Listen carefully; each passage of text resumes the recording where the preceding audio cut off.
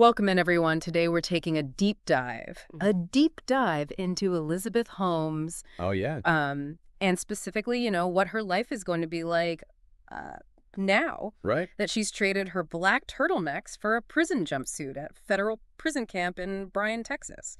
Yeah. So, um, I mean, before we get into sort of the specifics of, of what that actually means, Okay. um, can we can we just take a step back and uh, you know just for anyone who who needs a little bit of a refresher, just remind everyone sort of why why this story is so fascinating. Sure. So Elizabeth Holmes, um, you know, was once the youngest self-made uh, female billionaire um, because of her company Theranos. Right. And they promised to revolutionize healthcare with this, you know, brand new blood testing technology. Yeah.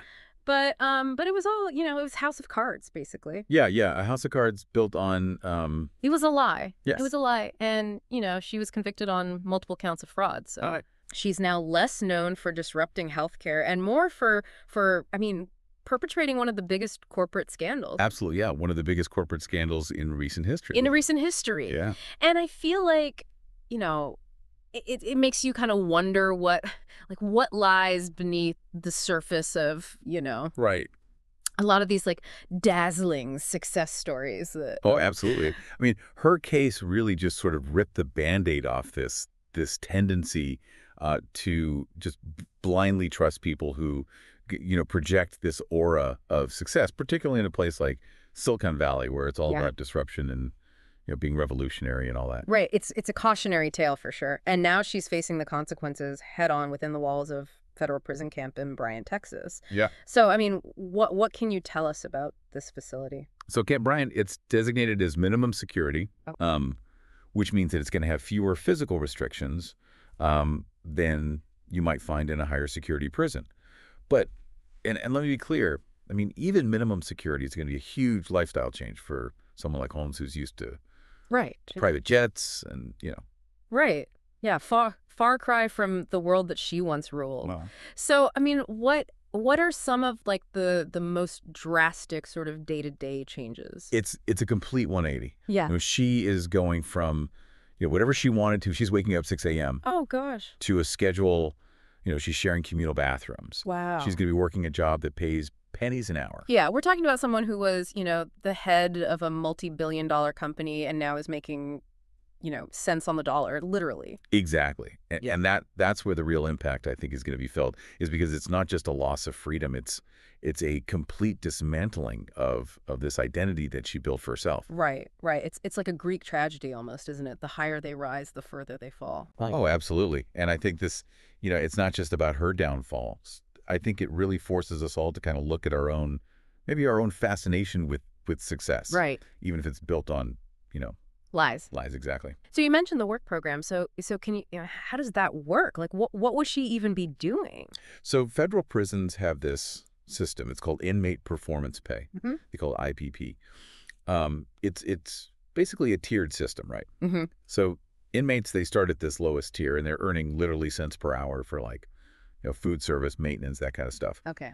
Um, now Holmes, she might qualify for something called Unicor, and that's federal prison industries, and basically, um, inmates they're producing goods and services for you know government contracts. Okay. And the pay is slightly better there, but we're still only talking a couple bucks a day at most. Which when you you know, and she w- would order to pay four hundred and fifty two million dollars Right. in restitution.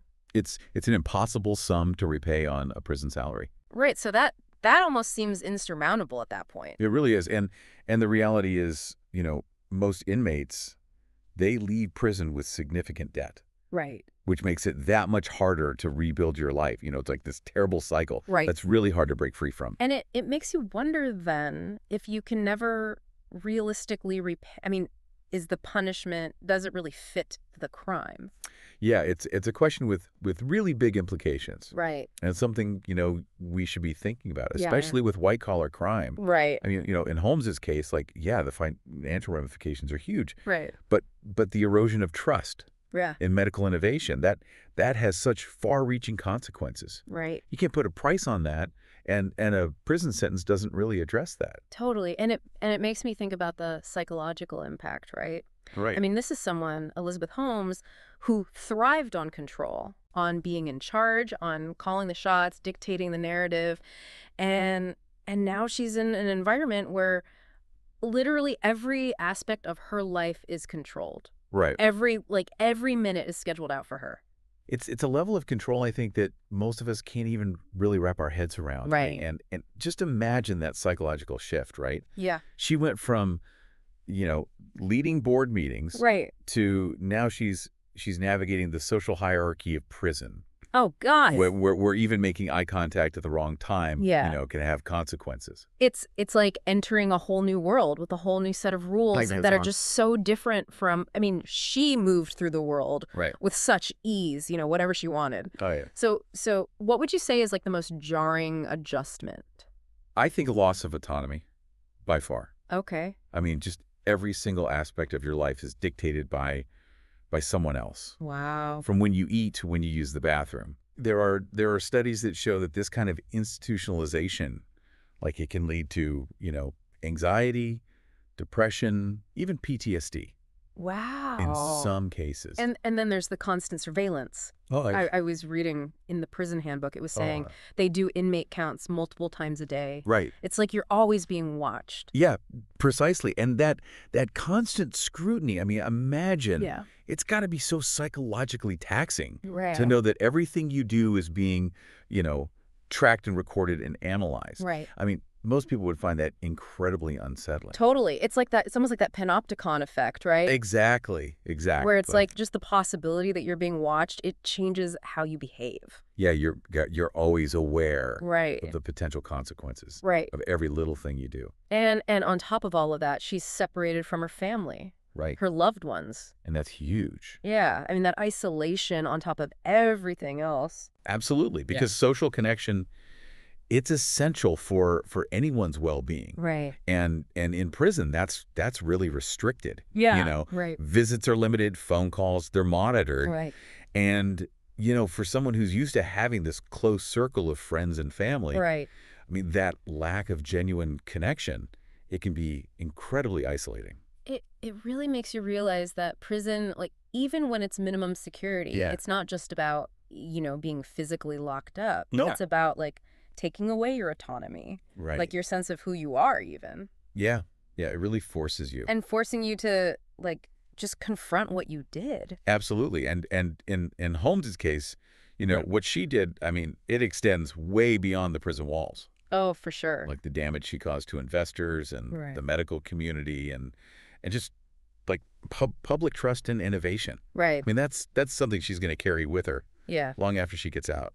I, it's just it's almost unfathomable yeah. like how someone could like create this massive fraud and and seemingly believe that right. that the rules just didn't apply. Right. And that's I think the complex thing about yeah. white collar crime is yeah. that mm-hmm. oftentimes there's this disconnect right. between the crime itself and the harm it causes. Right. Like they think they're playing a different game. Right with with different rules. Exactly. And and it's a game they ultimately end up losing. They do, yeah. And and Holmes is as we as we see here. Yeah, and I think her story, I mean, it's a really stark reminder. Yeah. That that real success really? is built on integrity. Yeah. It's not built on deception. Right, because no matter how convincing the facade, exactly. the truth is going to come out eventually. It always does, yeah. And and in in her case, like that truth has led to just I mean this really dramatic fall from grace. It's, yes. a, it's a complete dismantling of everything that she built. It is. It's a stunning um, turn of events. And it,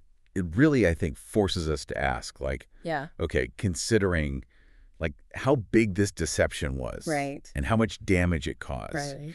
does, does the punishment really fit the crime? Right. And like, is that really justice? That's, that's a question that I don't think there's an easy answer for. Okay. And one that, I mean, we're going to see you know, legal scholars and just, you know, the public years debating for years to come. It's it makes us look at our values. Yeah. Like how do we define justice? Yeah. What does it mean to really be held accountable? Especially when what you did had such a huge impact. Exactly. Yeah, a lot to unpack there. A lot to unpack. Well, um this has been this has been quite a deep dive. It has. Um, but you know, I I really appreciate you you know taking us through of course, happy to be here. the complexities of of Elizabeth Holmes and this whole case and and what prison is even like. Yeah. For her, and and I hope you know that our listeners will will keep thinking about these questions even as we as we sign off here. Absolutely.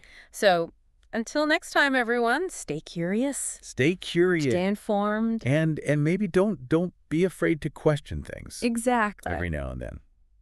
All right. Well, we'll see you next time. See you next time.